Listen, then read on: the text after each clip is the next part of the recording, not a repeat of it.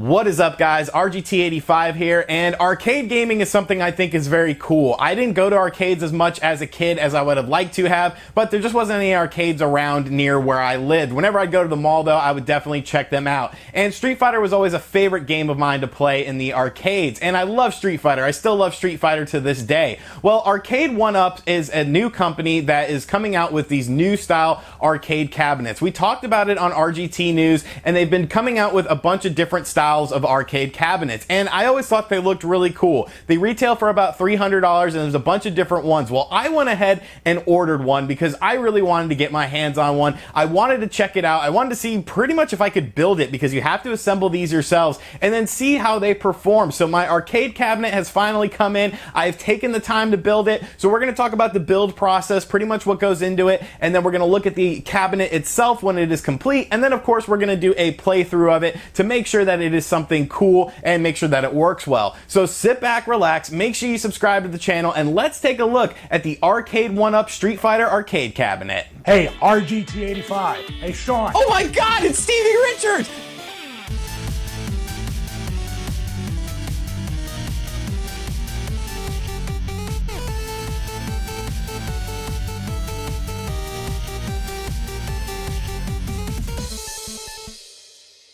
All right, so when this cabinet arrives at your door, I had mine shipped to me from GameStop. It comes in a pretty big box, and it wasn't all that heavy. It weighs probably about 50 to 55 pounds, so you could probably pick it up and bring it in the house yourself. And once you open up the box, well, looking at the box, I actually like the box art of it. You know, it looks pretty cool. It definitely has that sort of old school feel to it, and I like the way that the cabinet is presented. A lot of Street Fighter mentions on there and stuff like that. Then you open up the box, and it comes in a bunch of different pieces. Obviously, obviously there's different boxes. There's three different boxes and it comes with things like screws and all sorts of things. One of the nice things about this Arcade 1UP cabinet though is all you need to build it is a screwdriver, literally. And you guys know I am not too good at building things. Let's go ahead and roll that Labo clip. I am I am not happy right now. I am not happy right now with this. I dude, get your ass over here and do this, Spawn Wave, because I can't I cannot do this. So I couldn't really put together cardboard. So I didn't really have high hopes that I would be able to build this on my own. But honestly, it wasn't too bad really. It comes with step-by-step -step instructions and an instruction book, but there's also an online tutorial video on Arcade 1UP's uh, YouTube channel. And I just went ahead and followed that because I felt it was a little bit easier and I just followed the manual if I needed to get a little bit more clarification. But I started to put it together and honestly, it's not too time consuming. It took took me about an hour, an hour, 20 minutes or so to build it. And I know some people will probably build it in less time, but I'm not exactly the most, you know, person. I'm not, you know, a Bob the Builder type person. I didn't play with Legos as a kid. I played with Lincoln Logs because they were easier. But once the assembly process started coming along, I actually realized I put together one piece in the incorrect manner, so I had to fix that. But besides that, it was pretty seamless, honestly. It just took a bit of time. I was going to stream the whole process of me putting it together because I figured there would be some funny meltdowns, but uh, unfortunately, I was sweating my ass off, and I was like, I don't, I don't think these people want to see me sweat to death right right now. Like I probably lost like five pounds of water. Like it, it was disgusting. But as the process went on, I really didn't get all that frustrated. And then the final product finally came to my vision and I absolutely loved it. I love the arcade style of this system. Obviously it is built off of the Street Fighter 2 Champion Edition arcade cabinet. That's what it's modeled after. And they really got the details down on this. You know, there's a lot of the same branding. There's a lot of the same logos. And it definitely looks like a Street Fighter 2 Champion Champion Edition arcade cabinet. Now, this arcade cabinet comes with three versions of Street Fighter. Like I said, Arcade 1UP has a whole fleet of different arcade systems. I believe they're actually going to be releasing more. I've heard some rumors about some pretty cool systems, but this was the one that I wanted because I am a Street Fighter fan. It comes with Street Fighter 2 Champion Edition, Super Street Fighter 2 The New Challengers, and Super Street Fighter 2 Turbo. So three of the best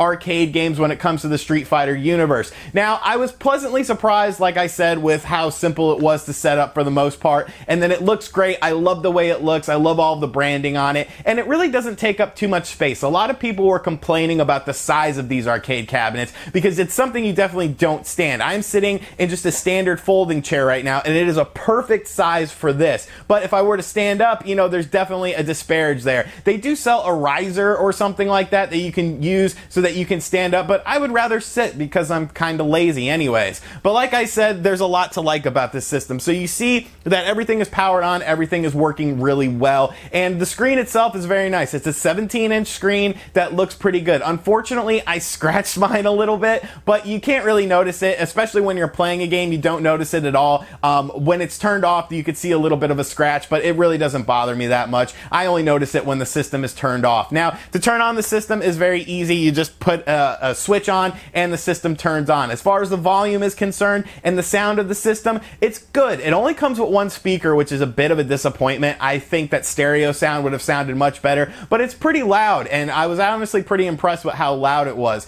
Now, as far as the volume settings go, there's only uh, three different settings. You could turn the volume off like I have it now. You could do a midway, and then you could do a full-on uh, volume setting. So, it would have been nice to have a little bit more settings, and you can't adjust anything on the actual system itself. So, stuff like brightness, gamma, all that sort of stuff. It's just it is what it is. And you know, some people might be turned off by that, but honestly, I feel like the default settings are very nice. Now, this is a flat screen, so it doesn't have like a tube to it, and like I said, it only weighs about 50 pounds. So if it's something you need to move around from room to room or something like that, you could easily do it, I feel. It's definitely not that heavy, and if you really need to, you can get a friend. But yeah, all in all, I really like the system. But of course, it doesn't matter if it plays like crap, if it's not, you know, arcade perfect stuff, if the arcade stick isn't good, if the buttons don't feel nice and crisp. So now we're going to take a look at the actual system as far as gameplay is concerned, and I'm just going to kind of give you guys my thoughts as I play along. I will be putting the volume on the medium setting. I hope it doesn't interfere too much with the audio of this video, and I will also put it on the high setting as well so you can see what that sounds like. But we're going to jump into some Street Fighter 2 uh, Champion Edition and check it out. All right, so this is the system with the system setting of the medium volume uh, going on right now. And like I said, this is the arcade version of the game, so you're not going to get things like, uh, you know, different settings and stuff as you would get in the console versions of the game. Uh, I'm playing as Ryu against Zangief, and this is uh, Street Fighter 2 Champion Edition, of course. And honestly, it feels it feels really good. Um, I've been playing around with it obviously since I set it up, but the uh, the stick itself feels really nice, and it definitely seems as if you could probably swap out parts um, if you choose to do that. Um, it doesn't seem like it would be very hard to do. Uh, you would just unscrew a couple different screws and take the piece out that is the um, arcade stick piece. It's all one piece. And then you would just put in whatever you want. So if you're into customizing your stuff, I can't imagine it would be very difficult to do.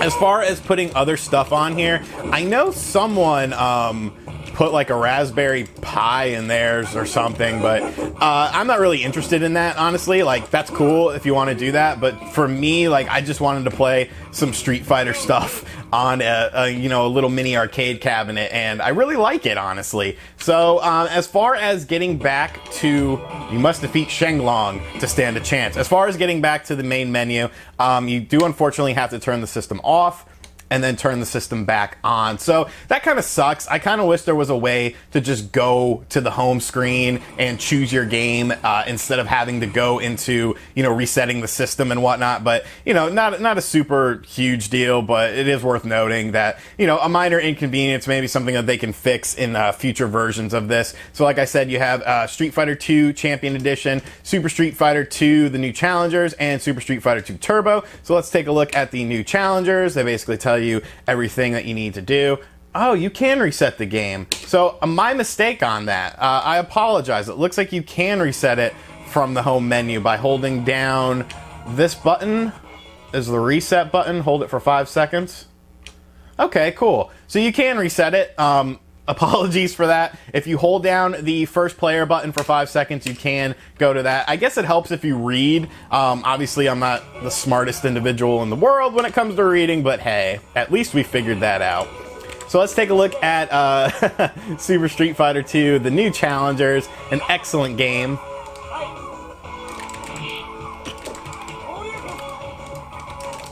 The music sounds very crisp in this as well. I, I really like that.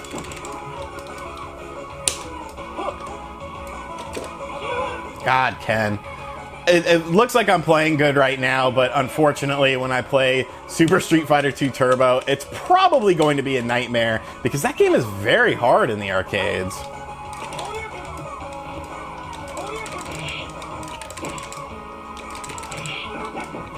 Come on, buddy. Uh, okay, okay.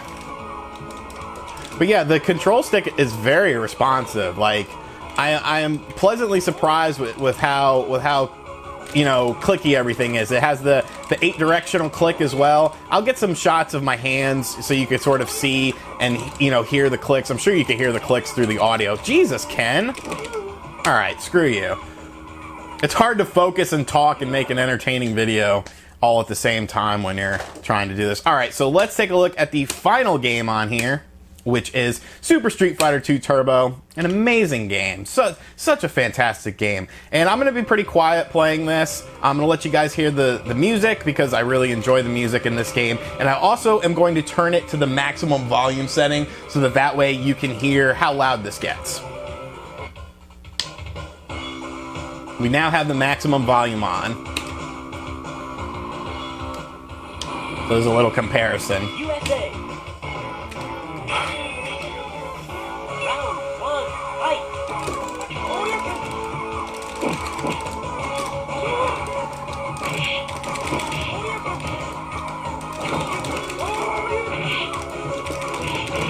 Wow. Pretty, pretty much how I expected it to go.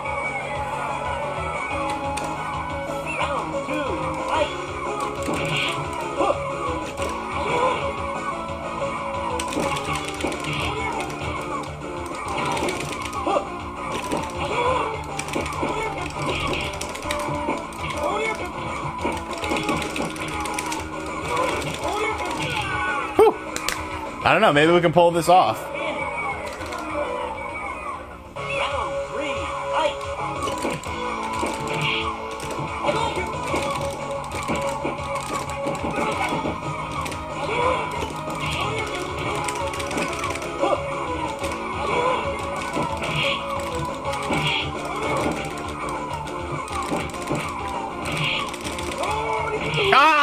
I missed that dragon punch. Oh well.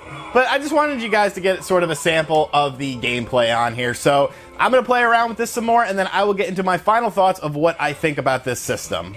So as far as my final thoughts are concerned about this system, I absolutely love it. Maybe it's just the nostalgia talking, but like I said, I picked this up for $300 and it's pretty much a Christmas gift to myself. I've always wanted to have an arcade cabinet, but most of the time I don't live in, you know, humongous places that have lots of extra space. So a smaller style arcade cabinet is cool for me and I like that this is an official product with the official branding. Yes, you could build your own arcade cabinet. Yes, Raspberry Pis, people build their own stuff all the time, but I'm not really inclined in that aspect. I don't really know how to build my own stuff, and I don't really have the time to learn how to build my own stuff. But something like this that's easily assembled and can just play it right out of the box is super awesome in my opinion. I absolutely love it. I've had so much fun playing with it today, and I'm going to continue to have fun playing with it. So it's definitely worth it in my opinion if you're just a simple collector. If you're someone deep into the arcade scene though, I'm sure you already have a bunch of arcade cabinets and custom arcade cabinets and things like that. So something like this probably wouldn't appeal to you. But if you're definitely definitely more of a casual arcade person,